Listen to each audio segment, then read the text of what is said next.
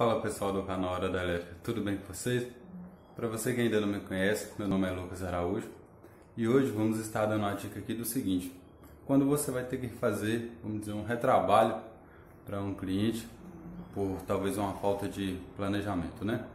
O que, que acontece? Instalamos essas luminárias que estão aqui atrás. Na verdade, há mais tempo era 5, quando foi feita a instalação era 5. Porém, agora o cliente decidiu colocar essa janela aqui, tá vendo? É uma janela de vidro, aquelas que você consegue diminuir ela, né? retrair ela e levar ela até o final. E aqui você consegue abrir ela, né? Não sei se dá pra ver aqui, ó. Você consegue abrir ela. Só que como tinha cinco luminárias aqui, aí aqui ia bater, né? A janela ia bater em cima ali do do pendente da lâmpada, poderia estar quebrando ela. Então aí acontece o seguinte, tivemos que tirar um pendente daqui e aí ficou furo lá em cima do teto, né? E vocês podem ver que não tem esse furo do teto lá mais, né? Então é essa dica que vamos estar dando aí hoje, beleza?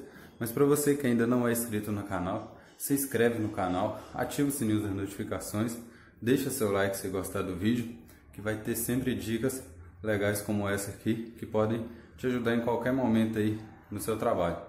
Tudo bem? Aqui, pessoal, então, é o seguinte, ó, essa esse tipo de forro aqui não se acha mais dele para poder comprar.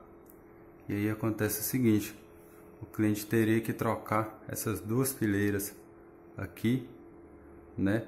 Por causa do furo que ficou ali feito ali, que eu fiz para poder pegar e pescar os cabos, né? colocar em cada luminária. Deixa eu só desligar aqui para talvez dar uma imagem melhor para vocês aí.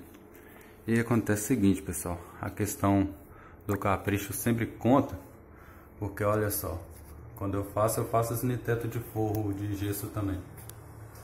Tá vendo aqui, ó? Um cortezinho quadradinho aqui, ó. Eu fiz, em todas as luminárias estão assim. Eu fiz o cortezinho quadradinho, aqui certinho. Tá vendo? Deixa eu tentar dar um foco para ver se melhor. Isso, agora vai dar para ver melhor. Fiz o cortezinho quadradinho certinho, passei os cabos normal. E esse pedacinho aqui, eu não desço ele para jogar fora não. Esse pedacinho, todo pedacinho que sobra, eu coloco aí por cima do forro. Então, se no futuramente, se no futuro precisar usar, é só enfiar a mão lá, pegar e usar. E no caso aqui foi o que a gente fez, tá vendo? Que o cliente não queria trocar o forro todo e nem deixar aqui numa tonalidade diferente, né? E aqui ficou bem sutil, nem dá para perceber, só se a pessoa chegar e ficar olhando mesmo.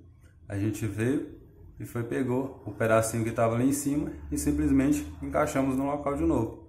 Tá vendo como é que fica bacana? Essa dica vale, pessoal, também para quando o teto, ele é o teto de gesso ou teto de drywall. Aí o que, que você faz? Como já tem vídeos meus mostrando como fazer os cortes lá no para colocar a luminária, né? você faz o cortezinho certinho ali sem ficar destruindo o forro, faz o cortezinho. E de vez em você pegar aquela parte que você vai tirar lá de cima e jogar fora, não, você põe por cima do forro mesmo, que não vai ficar ocupando espaço, porque já tem um, já tem um vão ali em cima, né?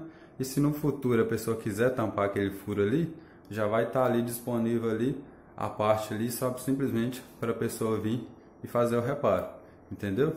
Então, essa é a dica de hoje aí, pessoal. É só fazer o cortezinho certinho lá e em todos os trabalhos que vocês fizerem, guardem o pedacinho em cima do forro mesmo que futuramente vocês podem estar usando, beleza? E é isso aí, pessoal. Muito obrigado. Se ainda não é inscrito no canal, se inscreve, ativa o sininho das notificações, deixa seu like se gostou da dica. Isso ajuda bastante o canal aí a chegar em novos amigos eletricistas que talvez não tenham, é, vamos dizer, essa maldade ou esse capricho, né? E é isso aí. Muito obrigado e até a próxima.